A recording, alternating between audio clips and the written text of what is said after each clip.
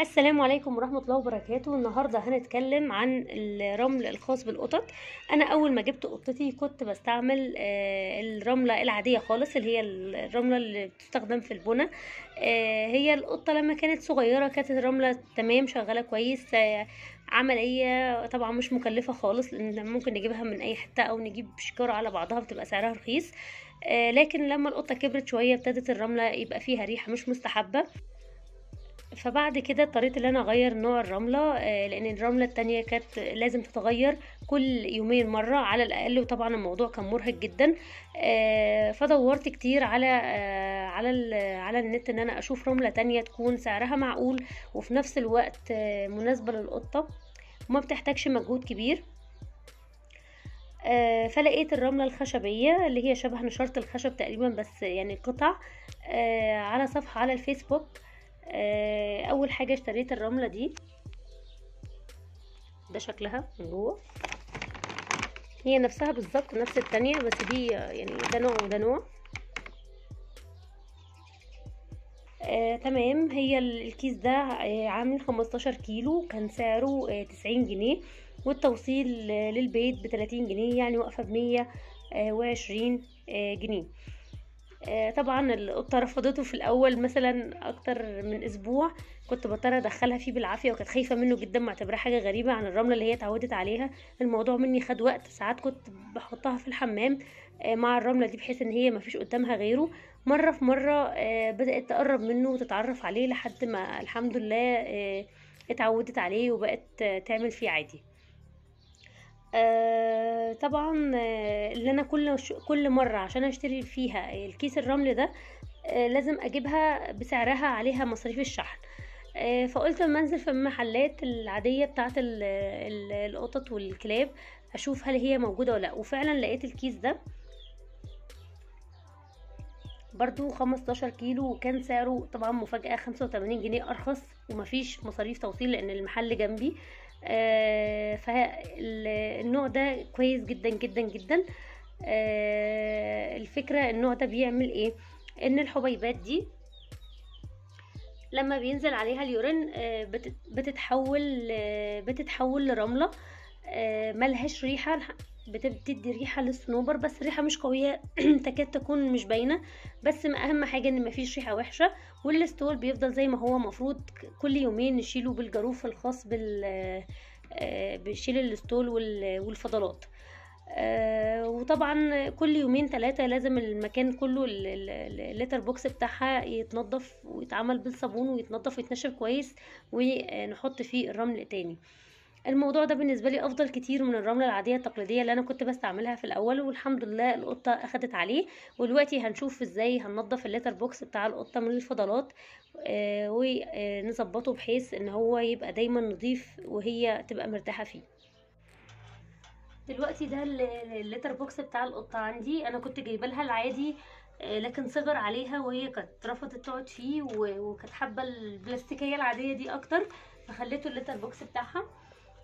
طبعا هي شكل الرملة ده طبعا ال- ال stool الأسود ده وهنا ال- ال urine هنا اتحولت الحبيبات الخشبية لحاجة شبه الرمل. تمام؟ إحنا أول حاجة بنعملها اللي إحنا بنشيل ال stool كله وبعد كده بنعمل فلترة آه، للرمل الخشبي بحيث ناخد كل الرمل ده آه، نطلعه بره ويتبقى ال- الحبيبات زي ما هي هنستعملها تاني. المفروض إن إحنا بنغسل ال- ال litter box كويس قوي أو ال- المكان اللي هي بتعمل فيه الحمام ونعقمه مثلا كل 3 4 أيام نغسله وننشفه كويس ونرجع نحط فيه الرمل تاني عشان يفضل نضيف ويخليها آه، صحتها كويسة. دلوقتي أول حاجة هنعملها خالص اللي إحنا هنشيل الستول. طبعا يا جماعة إحنا لازم نخلي بالنا من حاجة مهمة جدا اللي يعمل الموضوع ده يكون حد كبير ما يكونش طفل آه، لأن الستول المفروض ان إحنا ما نلمسوش آه، بإيدينا. لازم بعد ما نخلص الموضوع ده نغسل إيدينا كويس جدا. آه، لأن المفروض إن هو بيجيب من مرض ما. أنا مش يعني مش هخش في تفاصيله دلوقتي. آه، فلازم اللي هي الموضوع ده يكون حد مركز ويكون حد كبير يعني فاهم كويس ويغسل إيديه آه، كويس جدا بعد الموضوع ده. والأدوات الخاصة بال litter box وال وال والجاروف تكون بعيدة عن إيد الأطفال. أدينا هنشيل ال stool أهو.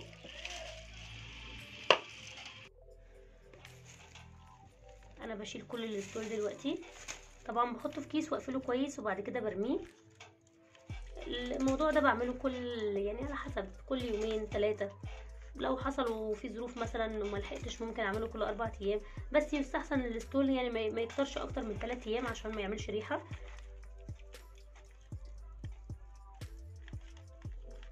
ويستحسن طبعا لو اتحط ال- ال litter box بتاعها في مكان مفتوح زي بلكونة. زي آه، garden لو دور أرضي أو حاجة. تمام؟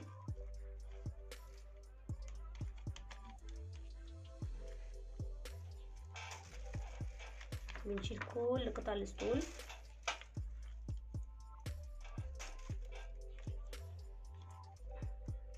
طبعا الرملة دي ريحتني جدا. في أنواع تانية من الرملة زي الرملة الكربوني آه، رملة كريستال. آه، بصراحة أنا ما جربتش الأنواع دي لأن لما لقيتها ارتاحت على ده وهي صعب إن هي تتعود على نوع بسهولة لأنها طلعت عيني على ما اتعودت عليه. طب إحنا لما بنيجي نعمل كده بنلاقي هي تكون داخلة ال stool تحت الرمل. تمام؟ كده. شوف الرمله دي الرمله دي اللي هي اهو طبعا لو في أكتر من قطه لازم يكون يا إما كل واحدة ليها يا إما نجيب litter box كبير يكون حجمه كبير عشان القطه طبيعتها بتكون نظيفة ما بتحبش المكان بتاعها يعني لما بتلاقي ال litter box تكون ناسيه وما نظفتوش بتكون قرفانة منه آه، بتبقى طالعة وداخله كده وهي مش مقدره منه فلازم طبعا إيه يكون المكان واسع. طبعا بقى كويس عشان أي في أي كده خلاص إحنا خلصنا. ما عادش في process خالص. نبتدي بقى نفلتر نبتدي نفلتر الرمله ونشيل منها الرمل اللي فيها الجوانب ونخلي القطعة طبيعيه زي ما هي. دلوقتي ده خلاص الرمل كله كامل ما فيهوش أي حاجة من ال stool. أنا بقى طريقتي السريعة اللي أنا باخده كده. طبعا ممكن نعمل الموضوع ده في وعاءين خصوصا لما نيجي نغسل ال litter box بالصابون وننشفه كويس. بس أنا لما بكون مستعجلة أو ال- الروتين اليومي بتاعي بعمله في نفس المكان كده. بناخد حبة صغيرين وبعدين نيجي في الكيس نعمل كده. وبعدين نرجع نحطه هنا. طبعا إحنا المفروض بنحط بنحط لها كمية وفيرة عشان تقدر تحفر فيها. وتقدر تخبي فيها الستول بتاعها. كده. وبعدين نرجعه تاني. وبناخد حبة صغيرين بحبة صغيرين عشان يتفلتر كويس من الرملة. الموضوع ما بياخدش يعني خمس عشر دقايق بالكتير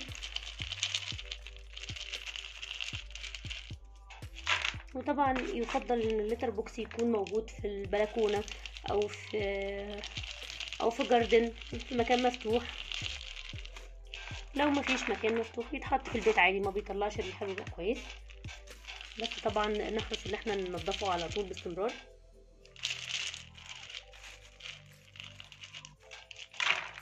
أهو. هخلص بقى الكمية دي كلها وأرجع لكم تاني.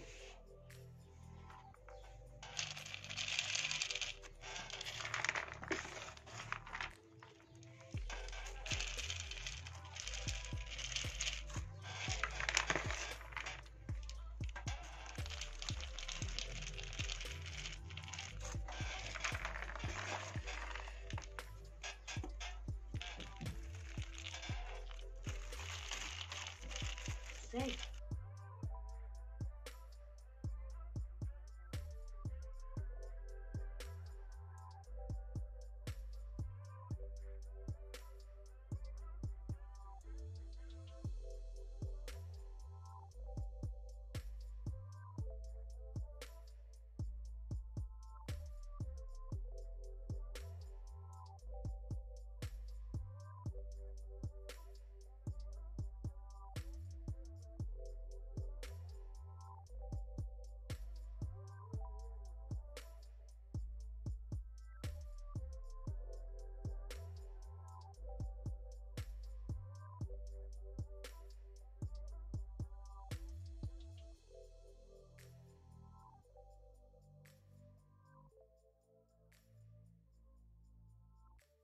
خلاص كده إحنا خلصنا الكمية كلها. ادي كل ال- اليورين بعد ما بقى رملة. وبعد كده الكمية دي بنرجع نوزعها تاني. بقت نضيفة. اهي. نظيفة ما فيهاش أي حاجة. وتقدر هي تعمل فيها براحتها. طبعا بنقفل الكيس كويس وبعد كده بنحطه في ال basket. وخلاص كوكي جت قعدت اهي. وخلاص ده بقى نضيف اهو. وخلاص دلوقتي بقى نضيف هي بقى تيجي تقعد براحتها فيه. كوكي. كوكي. قولي hi.